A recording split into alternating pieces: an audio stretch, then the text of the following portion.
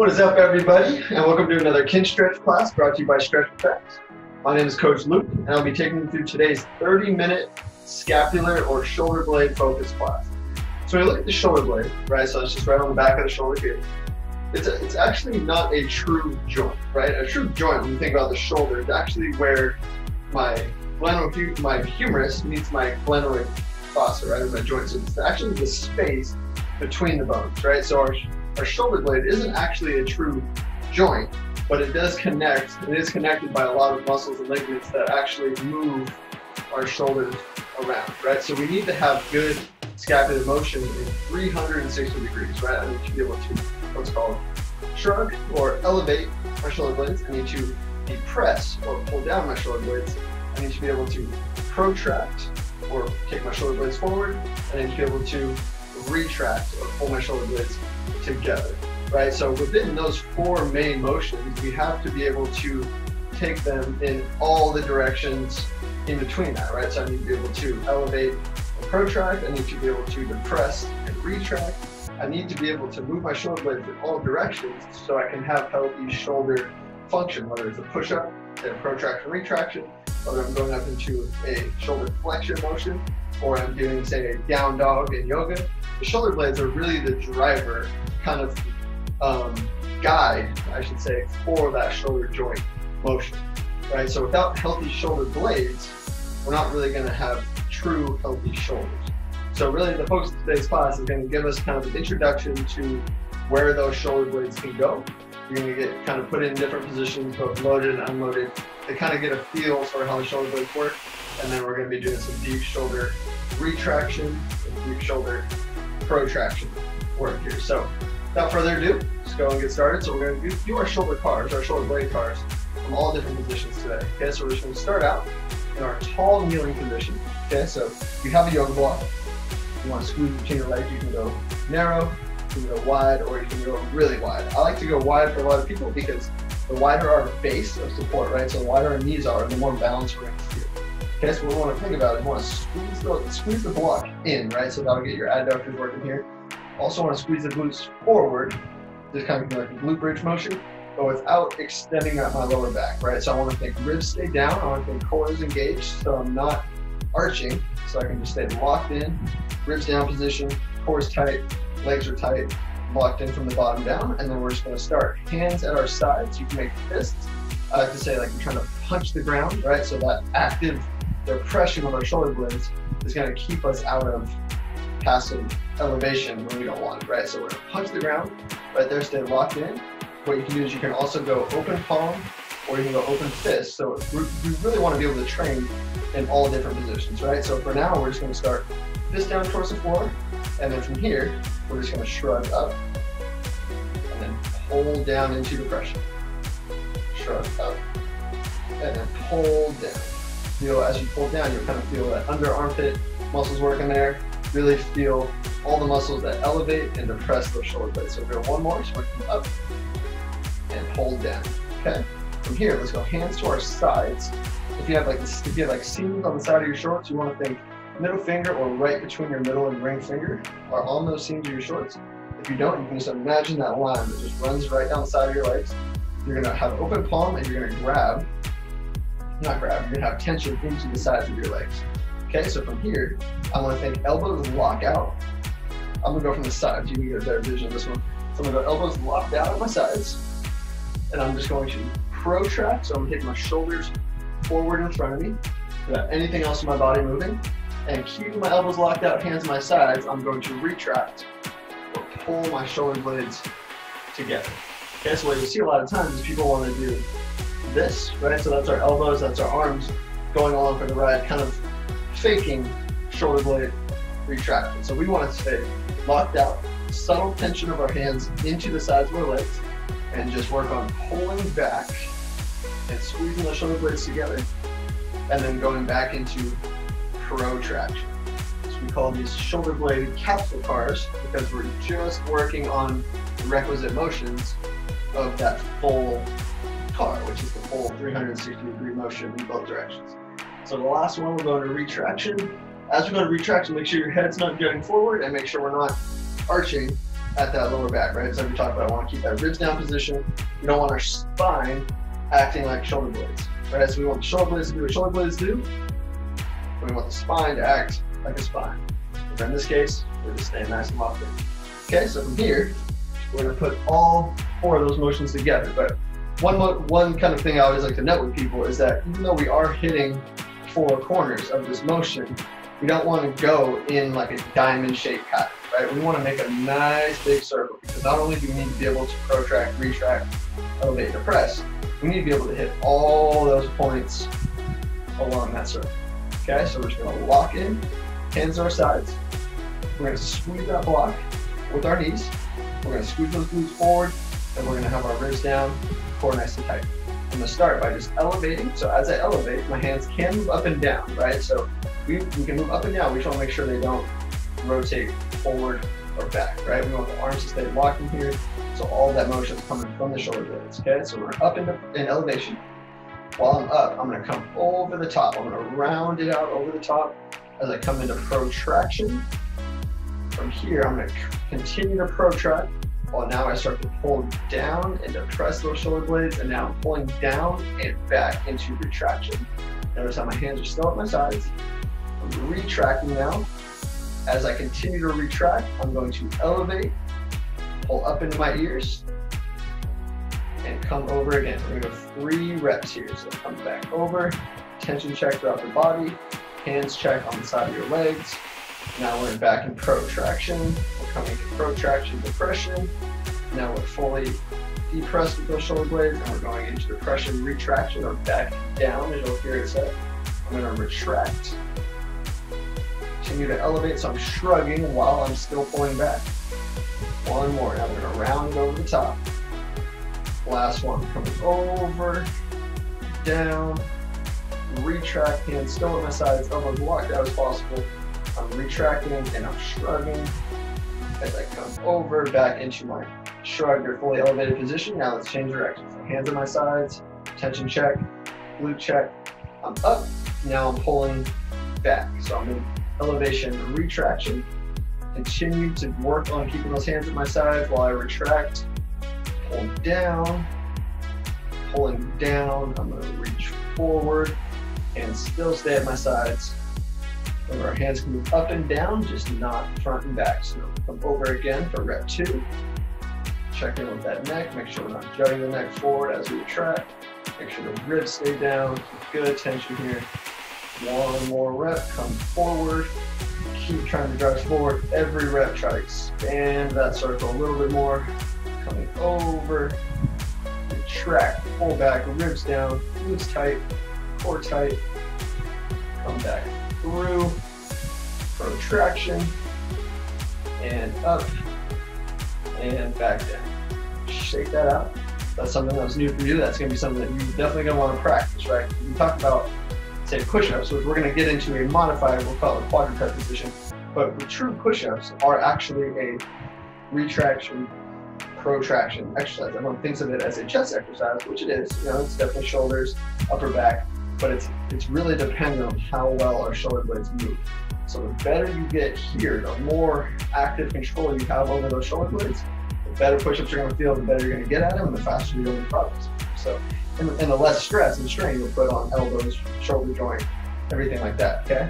So from here, we're to take that same block. If you have two, you can keep that block in your leg, and then you can just take the other block and bring it right out in front. If you don't, take that block out from your legs, we're going to use this now as we call a blocked scap car, we'll do scap capsule car, scap car, scap. So again, I'm going to go from the side so you can see what we're doing here. Do the same thing that we just did. Okay, we're going to have that block in legs. You got it. Have one block out in front. So again, you can grab it wide. I, I recommend you grab it wide here, but you could definitely do it close as well. It's just different orientations you can play with. Okay, so I'm going to be right here, right out in front. This is going to lock me in, elbows locked out, ribs are down, glutes are tight. And then what you can think about with your neck, it's just like how we, want to create an active block consciously so we don't passively jet that neck forward, right? So think it's a it's an odd cue for a lot of people, but think make a double chin, right? Like look, I'm trying to pull my chin, not just down, right? So I just want to think pull my head back. So as I come from here, right, instead of doing this, I want to think chin, comes back as if you were trying to create a double chin. And then I'm just gonna lock everything in so everything is nice and stacked.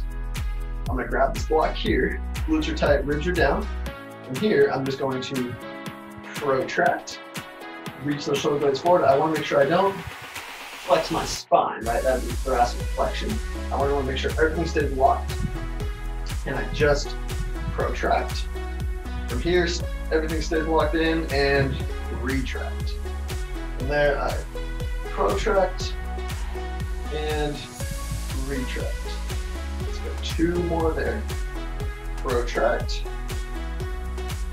retract, protract, and retract. Okay, so our fifth breath, what we're gonna do, we're gonna hold. Okay, we're gonna go five second hold and protraction, trying to get more without flexing that upper back thoracic spine. Okay, so from here, I'm gonna protract again, and we're just gonna keep reaching for five, four, try to get more, try to get more, three, two, one. Okay, from here, take that retraction, pull straight back again, core tight, glutes tight, squeeze, squeeze, squeeze, squeeze, squeeze, squeeze, squeeze, head still, five, keep squeezing, four, three, two, one, and relax. Okay, so that was protraction, retraction. We did the elevation depression already from this position here. Okay, so we're just gonna go right back to a stacked position. So we're not gonna protract or retract, we're just gonna lock those shoulders in. Just get a feel for what we call elevation, so that shrug up, and depression. So you'll feel those right, you'll feel those in those under your armpits, right? So I'm here, locked in, elevate, depress, elevate, depress. That's three. Elevate, depress. Last one. Okay, we're gonna hold for five. Come up, shrug. One, two, three, four, five. Last one. Depress. Pull down. Five, four, three, two, one, and relax. Okay, from here, we're just gonna go straight into our scapular cars with the block. So if you were in tall kneeling, you can stay in tall kneeling, or you come down to collapse kneeling. So what collapse kneeling allows us to do is kind of put ourselves a little bit at ease from the lower body. It makes it easier to keep those ribs down, keep that core tight. What's gonna happen, if you felt like when we were in these ones, or if we were in these ones, you felt like you wanted to really arch, that having the block here is gonna make it even harder not to. Right, so if you felt like you were arching, you felt like you were lifting the rib cage, really work on that ribs down position core tight. So that's really good. Getting in this position is really going to make it easier to, to feel this while we can really focus here. Okay, so we call this collapse kneeling. Sit on your heels. That's uncomfortable for you, you can sit on one of your other blocks. You can sit on a pillow. You can sit on something that lifts you up a little bit to take some pressure off the knees if that's uncomfortable. Okay, so we're to do five reps each position, I mean each direction, okay, from this block position. So block out straight out in front, straight out from those shoulders. We're going to elevate, shrug up, try to touch your ears with your shoulders. Protract, reach forward. Press, pull back and down. Squeeze my shoulder blades together. Shrug up. That is one. Come over, around, and squeeze. Two. Over, ribs stay down, core stays tight, legs are tight, elbows are tight. Up and over three for the next two from the side. Over here, forward, over the top, squeeze back, squeeze together, back over, that's four, we got one more, squeeze hard, up, over, and five. Okay, let's just reverse that, reach forward, shrug up, pull back, squeeze together and pull down. That's what most people probably need to work on, so take your time there. One, up, over, squeeze, down, two, reach forward, pull up, squeeze back, and down, three, last two, nice and easy, nice and slow, four should be burning right about now, up, over, squeeze those shoulder blades together, pull back, and down. Very nice. From there, you can throw that block off to the side. We're going to go into same motion, right? So protraction, retraction, elevation, depression from a quadruped position. Okay, so we call these, this is our intro into what we call loaded scap cars, right? So loaded just means we got some weight now coming down onto those shoulder blades so we can actually move them under some load, right? So this would be level one. Eventually, we're not gonna do it today, you would have level two, and then you can work into level three, or really any variation that you can kind of think of. But that's, like I said, down the road, that's something that you don't even need to worry about right now because really what we're trying to focus on is really mastering the motion before we throw too much complexity or too much challenge into it, right? So just be in quadruped position, so have hands right under my shoulders, knees right under my hips. If you want to tuck your toes, you can tuck your toes. If not, go straight into kind of plantar flex ankle position. Just like we did the other ones, let's start just nice pec core position. So a lot of people, as they, again, like I said, as they retract, going to want to really arch their lower back. So really as much as you can. We'll have some curvature, that is fully normal. Your spine is a natural curve in your lower back, but we just want to make sure that we're not mistaking retraction for lumbar extension. Okay. Core's engaged, actively nice and tight. With the hands, you can imagine you're trying to pull the ground apart steadily in between those hands. As you got a line coming down your hands, I'm trying to pull it apart. Right, so as I pull apart, that just gives me subtle tension in my shoulders. From here, I'm just going to retract and protract. So five reps there. Slowly retract, slowly protract. So same breathing. Slowly retract, slowly protract. That is three. Slowly retract, slowly protract. Four. One more. Slowly retract. Feel that squeeze. And the last one is slowly protract. So keep pressing, pressing, pressing. Keep trying to press away more without flexing your upper back. So here, press away, press away, and relax. This is uncomfortable for the wrists. You can always go into a fist kind of position. That will just stack your wrists and make it a little more, a little more comfortable if you get some pain or some pinching in here, right? And then you may want to work through or into any pain or pinching, especially on the closing side of that shoulder, right? So this would be closing side of ankle or wrist, I should say, extension, right? So from here, I'm going to stack the shoulders again, right? So I don't want to, I'm not going to protract or retract in this case which will be right in the center. Little bit. Here, I'm just going to shrug, pull my shoulders up to my ears, and press, right? So it's to be the other one. Should feel right on the underside of that armpit there. That's one. Shrug. Hold down. Two. Shrug. Hold down. Three. Shrug. Hold down four, last one, pull up to the ears, squeeze it, squeeze it, squeeze it. Last one, pull down, squeeze, squeeze, and squeeze. So that was our requisite motion, right? That was elevation depression and retraction, protraction. From here, we will go right into our full scapular part, right? So this position can be kind of funky if you've never done this before, if you're kind of new to the scapular car. So what I tell people is if you were going through the motion, right, scapular retraction, protraction, all the motion, you kind of get lost and you're like, wait, what direction was I going? How should I, you know, how should I readjust? I would tell people go right back to your center, right back to retraction, and then just go in one of the two directions. Okay?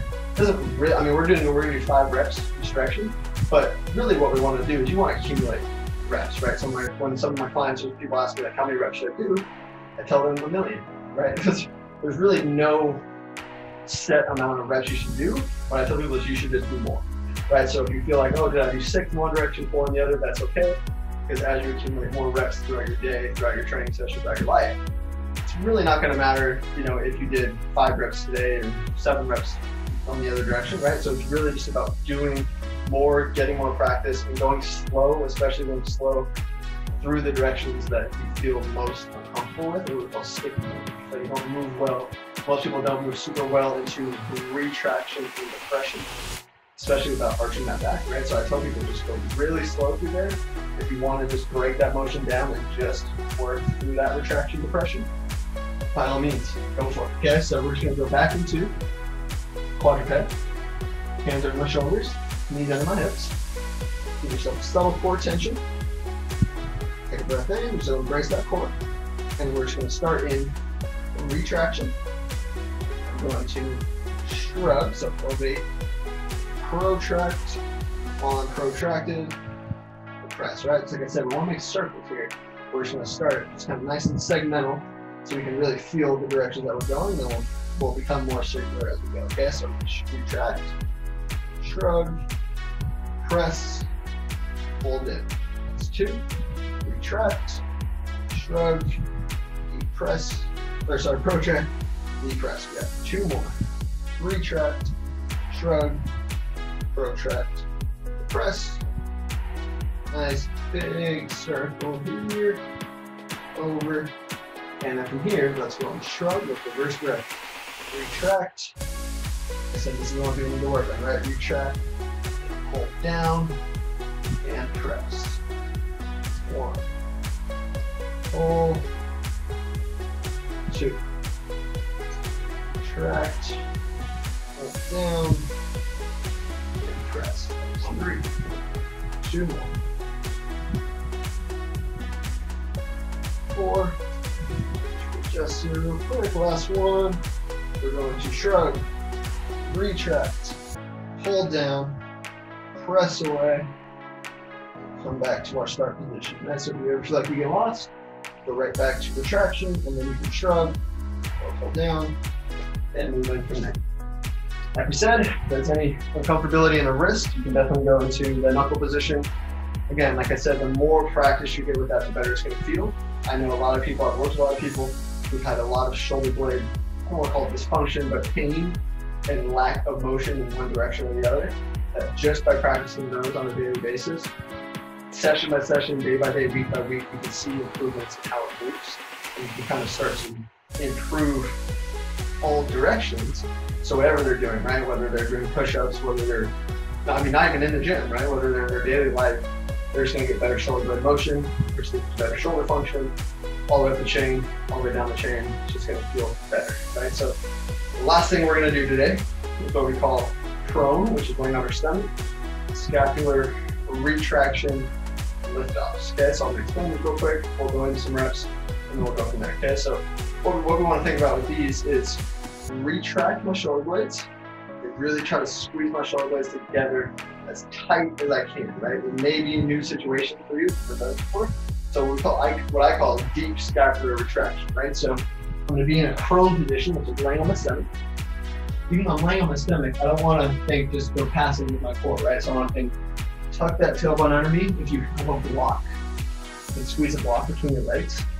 That will allow you just to create more tension through your lower body. You don't have a block. You can just squeeze your legs together, nice and tight. I'm gonna squeeze block because I have it, right? So here, and then still continue to try to tuck that tailbone almost like you're trying to lift your belly button off the floor, okay? So from here, I'm just gonna let it face down. I'm gonna have my knuckles. So in my case, I'll be straight down from my elbows. If you're really mobile, like really mobile, you can go onto a block. Or if you feel like you get to here and you couldn't get lift off from your shoulder blades, right? So I want to think lift my fists off the floor. You can just bring those fists down, find a position where you could go from, right? So really, you can really go from here and lift from there, right? We want to lift the shoulder blades. So we want to at least have some bend in the elbow, so it's not just shoulder extension? I want to squeeze shoulder blades to lift off, right? So what I'm going to do, I'll demonstrate, and then we'll do some reps. I'm to think, tuck my tailbone, that will be down. My elbows will think squeeze up and in, right? So I want to squeeze my shoulder blades together even from the start, right? So my elbows are not out here, they're squeezing together. I will be face down, I'll have my ribs down, core tight, and then I'll just retract my shoulder blades and come back down. come back down, we don't want to just punch the ground. Now and stay up and slowly come back down. If you find you can get off the ground more than an inch or two, you can just lift your hands a little bit higher, make it more challenging. If you're up here and you feel like you get way off, then you can move to the other block. Not really necessary for most people. Okay, so we're gonna do 10 scapular retraction lift-offs here. So I'm gonna think, find my position, force tight, squeeze that block, head straight down, elbows start by squeezing in already, and as I pull up, my elbows are squeezed in and up.